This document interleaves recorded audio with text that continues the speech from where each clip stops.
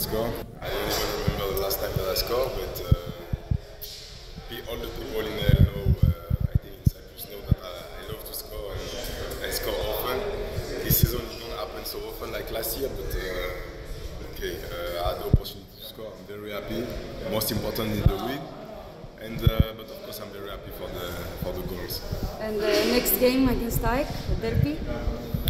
Hey, uh, every game is uh, is hard game, uh, especially the derbies. We will get focused all this week to, to try to get the, the win from Larnaca, and uh, we hope that uh, many people will come to see us, to support us, and try to bring the three points to Limassol. How far can I go this season? you know, we take game by game. I know it's a stereotype to say that, but uh, I don't see too far.